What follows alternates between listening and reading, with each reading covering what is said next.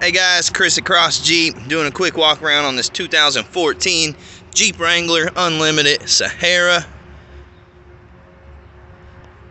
This has not been detailed yet, so please excuse the messiness. Um, but it is a Wrangler at $20,000. Any Wrangler that we have that's 20k or less usually has just tons of attention and then typically sells within a day or two. And that seems to be the case on this one. It is getting an absolute ton of attention.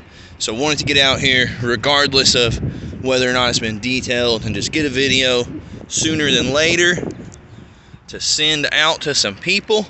Let's talk about some of the blemishes. It would not be a JK Wrangler if it did not have a dented front bumper.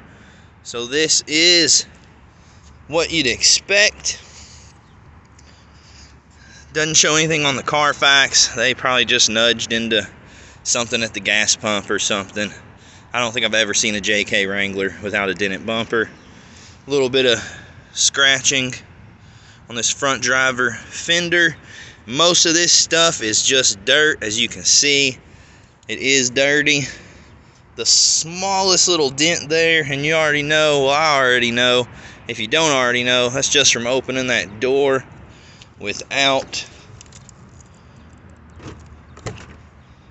without that connected swings that door all the way open.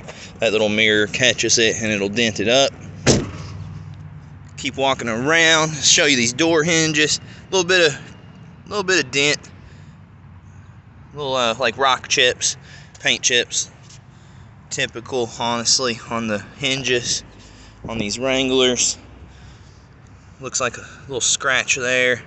A bunch of dirt. Again, it has not been detailed yet. That's dirt on the back fender. Boom. We do only have one key to this vehicle, but you got keyless entry doors, lock and unlock, and you have remote start. I'll show you that in just a moment passenger side was not a ton of blemishes. Again, we have some dirt on it.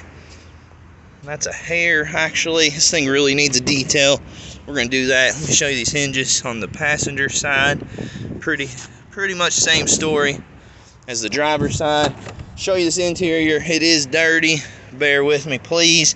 They have the all-weather floor mats. The leather in here is in great condition.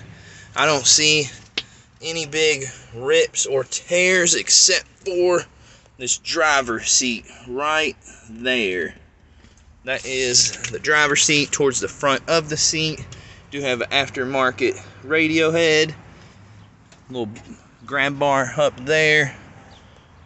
The back seat, same condition wise. This seat is in 10 out of 10 condition still. This leather really holds up. It's pretty incredible. That right there is one of my favorite snacks. So they had great taste in snacks, but they did not keep it very clean. I'm not gonna lie to you.